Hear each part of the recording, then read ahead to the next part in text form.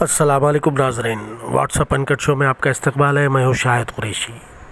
ناظرین، رمضان کا مہینہ اب ختم پر ہی ہے۔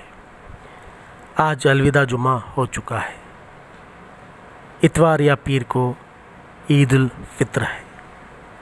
اور جبکہ حالات اب نارملسی پہ دکھائی دے رہے ہیں، جیسا کہ لاک ڈاؤن کھل گیا ہے، کچھ روایتیں مل گئی ہیں، رعایتیں مل گئی ہیں۔ پبلک روڈ پر آ رہی جا رہی ہے، شراب خانے کھل گئے ہیں، سب کھل گئے ہیں۔ ایسے ماحول میں ابو حریرہ ایجوکیشن سوسائٹی کے صدر مولانا شیخ شکیل احمد نے ریاست تلنگانہ حکومت اور پولیس سے مطالبہ کیا ہے کہ عید الفطر کے لیے صرف ایک گھنٹے کا وقت دے نماز کے لیے۔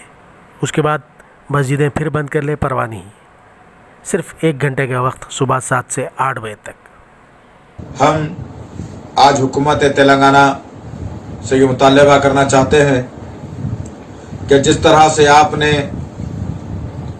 بازاروں کو کھولنے کا حکم دے دیا، شراب خانوں کو کھولنے کا حکم دے دیا، دکانوں کو کھولنے کا حکم دے دیا، کپڑے کی دکانوں کو کھولنے کا حکم دے دیا۔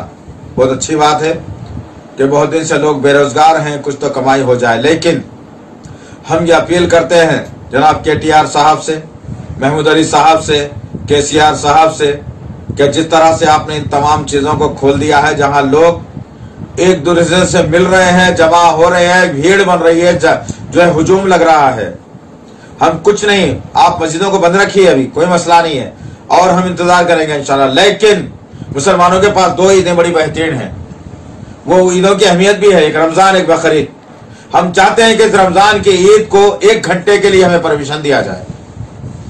ایک گھنٹے کے لیے ہمیں پرمیشن دیا جائے، صبح سات بجے سے آٹھ بجے تک، اس کے بعد پھر ہم جو ہے نا مسجدوں کو بند کر دیں گے۔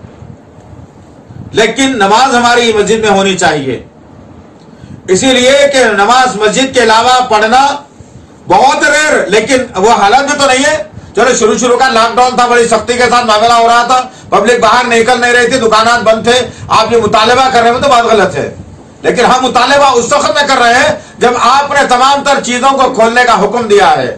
لہذا مسجدوں میں نماز پڑھنے کا حکم دیجیے ایک گھنٹے کا ہمیں پرمیشن چاہیے، اس سے زیادہ نہیں۔ صبح سات بجے سے لے کے جو ہے، پھر آٹھ بجے تک صبح کے۔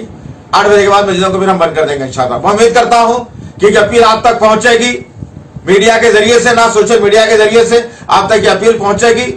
اور آپ کا جو وقار مسلمانوں کے درمیان میں ہے، جو آپ کی محبت مسلمانوں کے دلوں میں ہے، اس کو برقرار آپ رکھیں گے اور ایسا